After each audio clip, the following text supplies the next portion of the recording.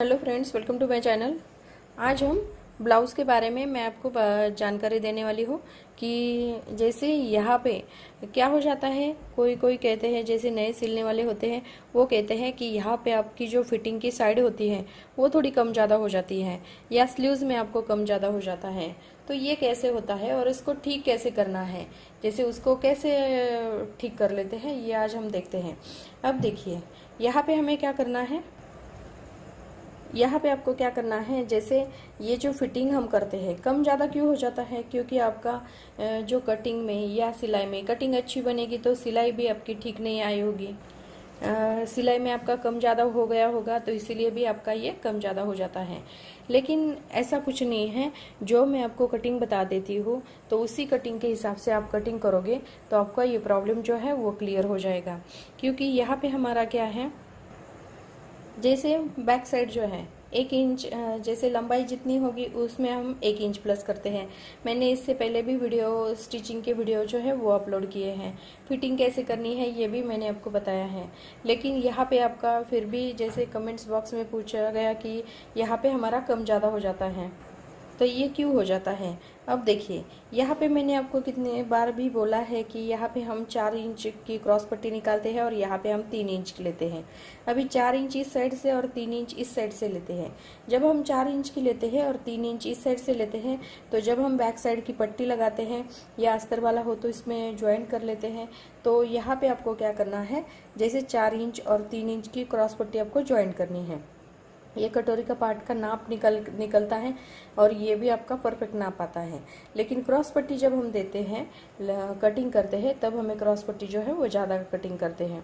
अभी जब क्रॉस पट्टी ज़्यादा कटिंग करते हैं तो आपको क्या करना है कि यहाँ पे मैंने सिलाई ब्लाउज़ मेरे चैनल में आप दे सकते हैं। स्टिचिंग का जो ब्लाउज़ मैंने वीडियो अपलोड किया हुआ है तो उसमें आपको बताया भी है कि यहाँ पे आप जब हम क्रॉस पट्टी जो है, यहाँ चार इंच और इस साइड में तीन इंच ये करते हैं तो फ्रंट साइड में भी एक ज्वाइंट कर लेते हैं और इस साइड में अस्तर वाली अस्तर के साथ और इस तरह से ये। जैसे नॉर्मल ब्लाउज होगा तो भी हम डबल क्रॉस पट्टी निकालते हैं तो दोनों साइड में हम क्रॉस पट्टी लगाते हैं। अभी दोनों साइड में, इस साइड में ये ज्वाइंट करनी है और इस साइड में ज्वाइंट करनी है। दोनों साइड में हम ज्वाइंट करने के बाद ये क्रॉस पट्टी हमारी ज़्यादा आती है। अभी ज़्यादा आती है तो आपको क्या करना है बैक साइड के ऊपर फ्रंट साइड कट रखनी है। बैक साइड के ऊपर आप फ्रंट साइड रखोगे, और ये कितना ज़्यादा आता है आगे के साइड में, ये उस उसके ऊपर क्रॉस पट्टी के ऊपर आपको मार्किंग करनी है। फ्रंट और बैक साइड जो है, वो सेम लेनी है। यहाँ पे आपको मार्किंग करनी है, वो अंदर के साइड में सिलाई में चला जाता है, और फ्रंट और बैक साइड जो है, वो सेम आती है। अभी यहाँ पे भी जब हम स्लीव ज्वाइंट करते हैं तो यहाँ पे हमारी जो बाजू का शेप है, पहले तो वो अच्छे से, जैसे मैंने आपको बताया है कि स्लीव्स की कटिंग कैसे करनी है, वो अच्छे से आपको देनी है। उसके बाद जब हम स्लीव्स तैयार करते हैं। तो ये फ्रंट और बैक साइड जो है, वो सेम है कि नहीं पहले आपको चेक करना है। ये दोनों साइड तो आपकी सेम हो जाएगी, क्योंकि क्रॉस पट्टी जो ज़्यादा लेते हैं पहले से हम लंबाई में एक इंच प्लस करते हैं, और ये क्रॉस पट्टी जो है चार इंच और तीन इंच की लेते हैं तो यहाँ पर हमारी क्रॉस पट्टी नीचे के साइड में ज़्यादा आती है।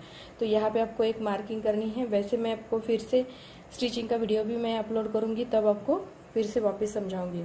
यहाँ पे भी आपको क्या करना है, इस साइड भी आपको चेक करनी है और इस साइड भी आपको चेक करनी है।